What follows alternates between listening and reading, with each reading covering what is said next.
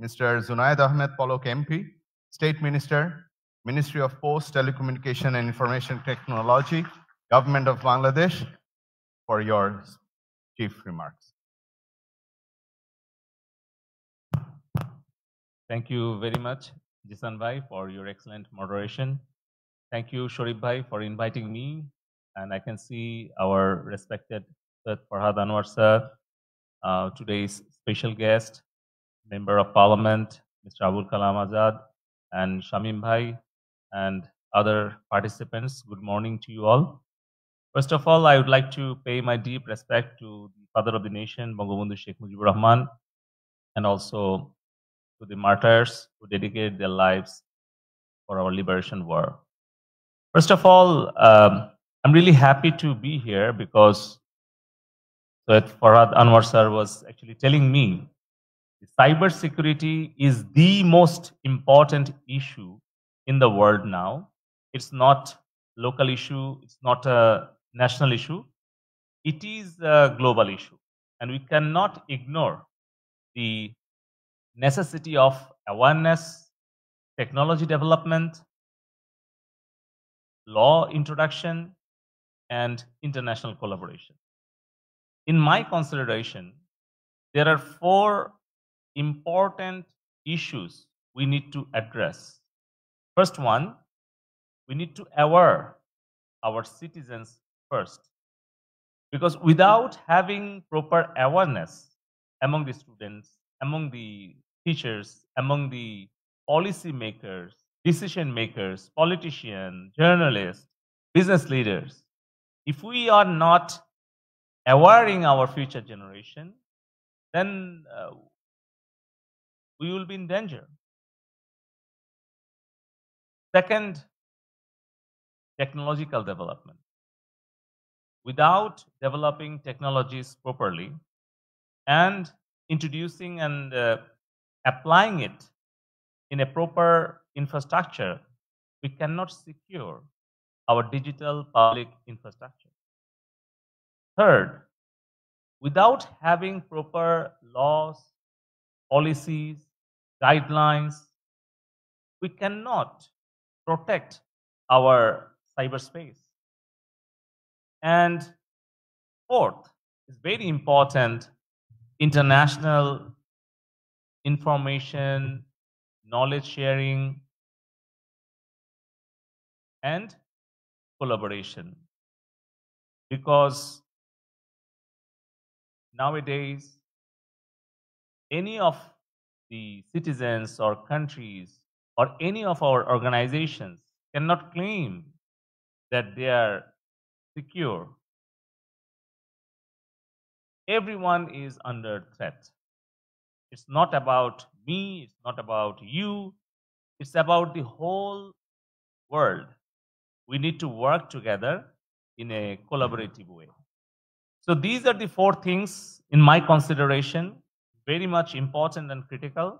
And that is why under ICT division, under the proper guidance of the architect of digital Bangladesh, Honorable ICT advisor, Mr. Sajeeb Wazed Joy guiding us since 2016 when our central bank haste happened and we lost huge amount of money still we have not able to recover the damage so i think that was the wake up call but it was very costly call and costly awareness for us to realize that cybersecurity is the most critical issue in our society and economy.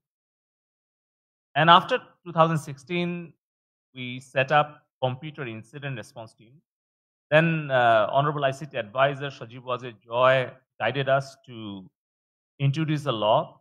We introduced first Digital Security Act. Then last year, 2023, we introduced, enacted very futuristic, modern, liberal, but timely, very efficient and necessary law that is Cybersecurity Act. Under the Cybersecurity Act, we have four targets to develop our computer incident response team, our national computer incident response team. We have set up digital forensic lab under the leadership of Honorable Prime Minister Sheikh Hasina. We have established National Cybersecurity Council and Cybersecurity Response Team. Recently, we have declared 35 critical information infrastructures. I hope you all will be agree with me that power, telecom, and finance. These are the three very critical areas where we need to give our concentration, and that is why we have identified 35 critical infrastructures which are really important to secure. And from the government side, we are taking care of all these critical information infrastructures. But at the same time, we have introduced some information security guidelines which are important for the private sectors to follow. I will not uh, take your much time because um, we are waiting to listen some of the cyber security experts session and presentations. That would be very helpful for us. But i would like to give my heartiest thanks to bangladesh brand forum a2i Grameen Phone, bKash, and other contributors and participants for your contribution for arranging this program. Very timely uh, initiative you have taken from the ICT division, from Agency to Innovate, A2I project. We will be uh, participating to help you. Just one last thing I want to share with you that Honorable ICT Advisor Sajeeb Wazed Joy told us 10 years back that four frontier technologies are going to disrupt the whole world. Number one was uh, artificial intelligence. If you remember, back in 2016, during our digital world, we invited world's first humanoid robot, Sophia, and also invited the developer of Sophia, and the Honorable Prime Minister interacted with Sophia during the inaugural session. On that time, many of us we thought that it's only fantasy, but you now you see that GPT and some other AI tools are uh, becoming uh, part of our life. Whenever we go, if we are preparing our speech or preparing a video, it's AI tools. And second one was robotics. Third one, microchip designing. Fourth, cybersecurity. The Honorable ICT Advisor Sajeeb Wazed Joy shared his observation and uh, anticipation about the future. Back, I'm talking about 10 years back. If you remember Wahid Bhai in uh, CeBIT conference um, back in 2015, it's about nine, 10 years back. He gave his interview to one of the very popular German media. Uh, I can remember still I have the YouTube video on my YouTube channel.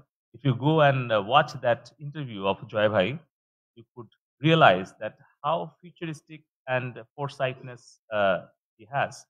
And uh, he also shared that future is going to be personalized.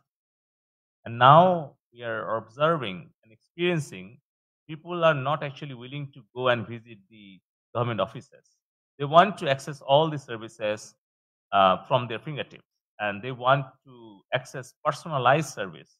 Even nowadays, we are realizing mobile applications, even uh, websites, these are going to be very uh, irrelevant for service delivery.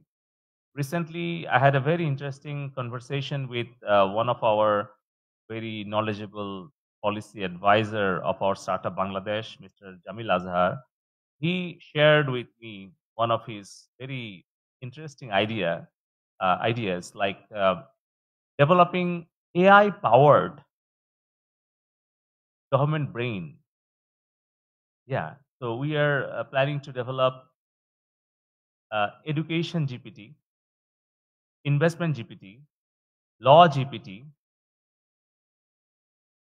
so health GPT, so that you don't need to visit thousands of websites for hundreds of services.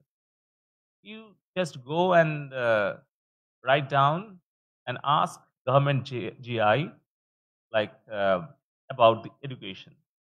It could be student, it could be teacher, and the government brain, the AI powered tool, will answer you, guide you, and work as a virtual assistant.